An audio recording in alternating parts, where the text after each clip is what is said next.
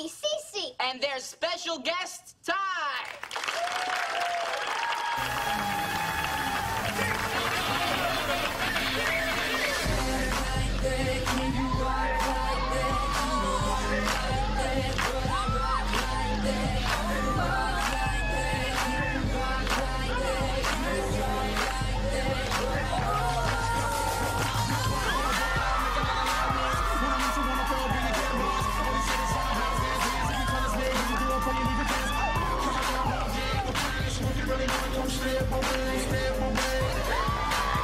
Thank you.